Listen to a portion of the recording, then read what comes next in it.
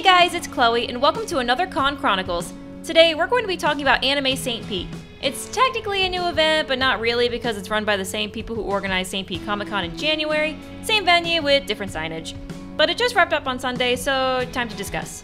It was my first time working a convention beyond a single attraction, so that was a new experience being on the other side of the operation, even though I wasn't a traditional staff member you typically see at larger cons. Okay, so yes, it was at the Coliseum again, but this time connectivity is extended to the Sunshine Center across the street, so things were more spaced out.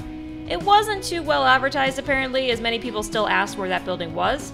One sign was posted outside pointing toward the Sunshine Center, a second sign was added on Sunday, though I don't know why it was placed here. But I think a quick announcement from the stage each day would have helped.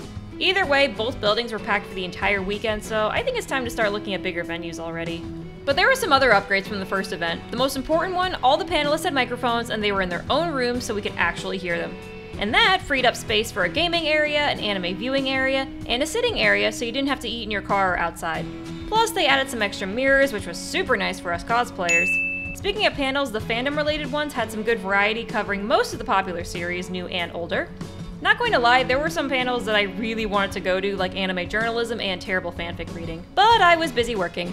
I learned that staffing a con is like doing a bunch of side quests in an RPG. Some of mine included finding a backdrop for a photographer who wasn't told he would have a booth until day of, fishing out my headphone jack so they could play music during the costume contest, and collecting video clips of various con attractions, which you're looking at right now. That was most of my weekend.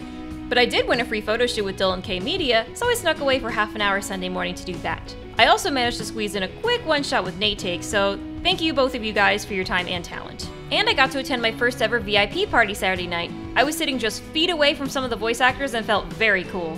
I didn't know what to expect though. I assumed there would only be drinks, and trust me, there were plenty of those. A lot of blue drinks. But I was happy there was food too, since I was running on Uncrustables and Fruit by the Foot that day. The entire weekend was give and take.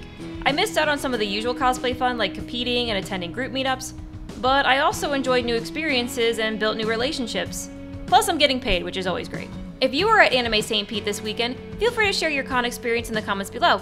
If you enjoyed this video, go and hit those like and subscribe buttons, ring the notification bell, follow me in my other social media linked in the description. Next month, we're heading back to Tampa for Hero Hype, so stay tuned for that. For now, I'm going to go take a nap. See ya.